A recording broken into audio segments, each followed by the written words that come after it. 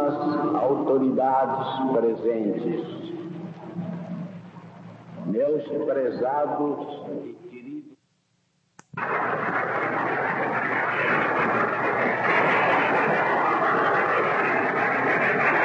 Compete-me a tarefa de fazer uma conferência a respeito do sacerdócio,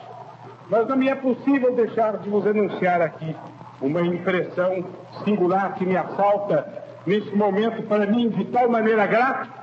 a impressão singular de que as coisas vêm de algum modo de revés.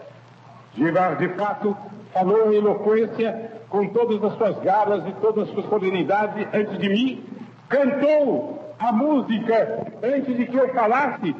as vossas palmas consagradoras que surgiram antes de que eu as merecesse, e depois de, uma, de um início de sessão com tanto brilho,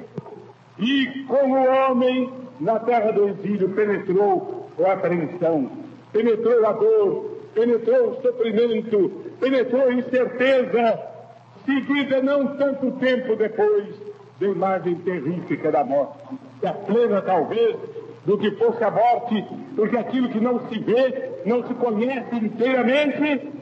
e morto por quem? Morto por um outro filho, o fratricídio ignóbil, derramando no chão o sangue do justo, que, segundo diz a Bíblia, levantava-se ao céu, bradando a Deus por vingança.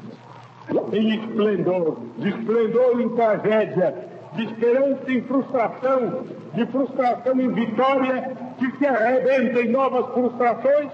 conduziu-nos até esses afazeres terrenos.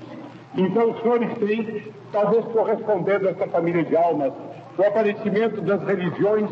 ditas sem mistérios. Religiões em que o sacerdote aparece, não sem dúvida,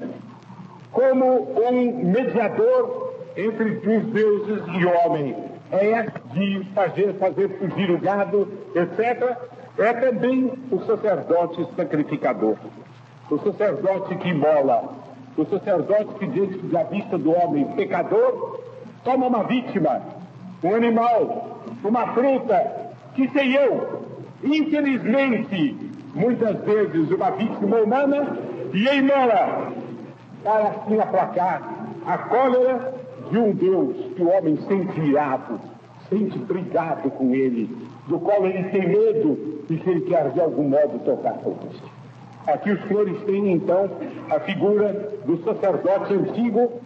segundo tipo dessa, dessa mentalidade mais voltada para os bens terrenos, mas